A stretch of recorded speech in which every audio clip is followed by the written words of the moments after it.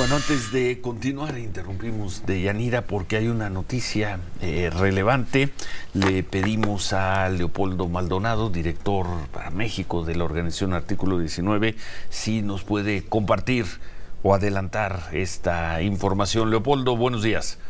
Muy buenos días, Ciro. Eh, muchas gracias por el espacio. Como siempre, pues efectivamente la noche de ayer fuimos informados y ya confirmado por la familia Toledo que Alberto, el hijo del periodista Marco Toledo, que fue eh, secuestrado junto con su padre y su madre el día 19 de noviembre en Tasco Guerrero, pues ya ha sido liberado.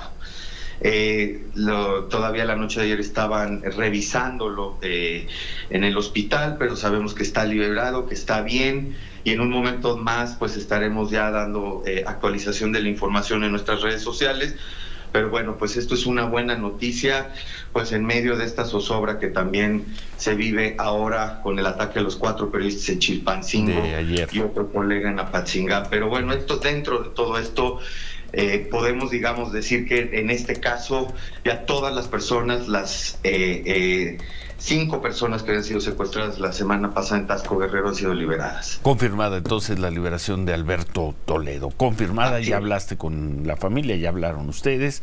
Confirmada la información. Así es, Ciro, confirmada. Muchas gracias, Leopoldo.